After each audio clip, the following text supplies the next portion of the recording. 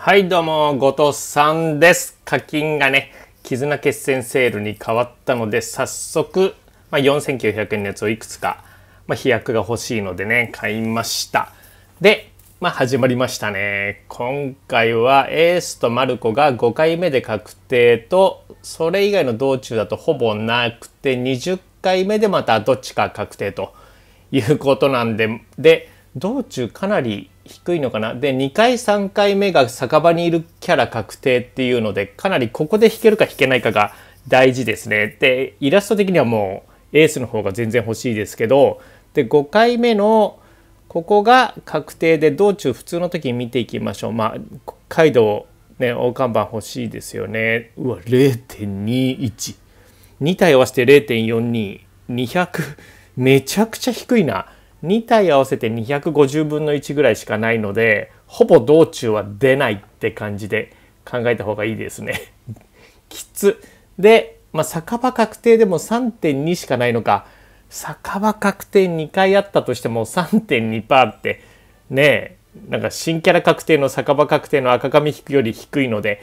でトレマおかげさまで今ね500位狙えるぐらいのところをうろちょろしていて今70周終わってまあ1億ポイントいけるかなって、まあ、こんなに頑張ってるの久々なんですけど、まあ、新しい同盟メンバーもねすごい入ってくれたので楽しくやってます。まあポンクロでねどこまでいけるかちょっとやっていきたいと思いますんでできればね2体超ボスコイン欲しいのでただまたゾンビとかがね復活してるとうんどうかなと思いますけどうお止まったと思ったら赤髪か。いやいやうわいやいやジャックだけじゃないんでねできれば全員揃ったカイドウの海賊団全員欲しいんですけどさあここはまあまあ出ないかな。ピックアップのところではねマルコと,、えっとエースは出ないのでさあこっからがさあ一番最後が低いですけどね。さあ行ってみましょう。どうなんでしょうか。15%か。2体合わせて15%大きいな。6回に1回はどっちかが出る。わこのやっぱ2回目3回目がかなり大事。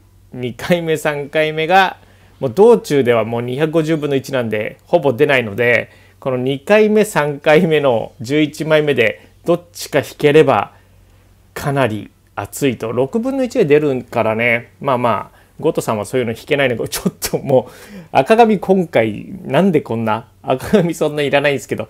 さあ誰？いやさっきも止まったと思ったら赤髪になっちゃったしね。赤髪はいやカイドウのいやー熱いね。新キャラ出てる。う わ熱いね。ありがとうございます。カイドウ看板とねももさあいやートキアドももううんいい引きはしてるけど。いやー違った。か。11枚目ちょっとで何が出たかなってちょっと画面隠したりしたんですけど違いましたね。さあいやでも酒場多いよねキャラ。ただ6分の1で引けてまた赤髪。ありがとうございます。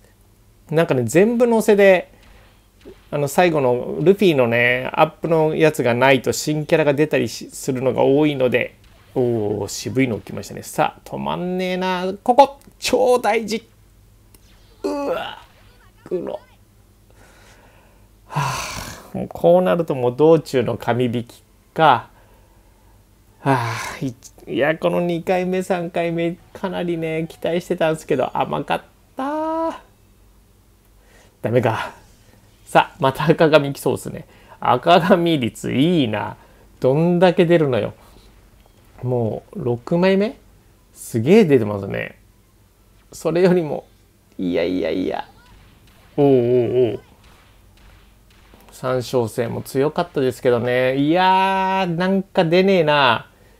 さあここは確定ででももうこれ赤髪8分かぶるんだ。そこかぶるんだ。ありがとうございます。さあここねどっちだろう。まあどっちも使えますけどイラスト的にはねエースが欲しいなと思ってます。さあお願いします。どうでしょう。うーん。さあさ。あ頼む。待って。いやはいはいはい。違う海賊団が出ましたね。いや道中は止まんねえか。さあここが。おおありがとうございます。よし。エース頭まあ欲しかった方どうすかな。ちょっとねあの実際どんなメリットあるかっていうのもうちょっとちゃんと調べてマルコを狙うかどうか。ただ道中はもうね500分の1とかになっちゃうんで。うん。得点もあんまないっすもんね。坂場確定もねもう1点狙いになっちゃうときつすぎるんで。7パーとかですもんね。12分の1か。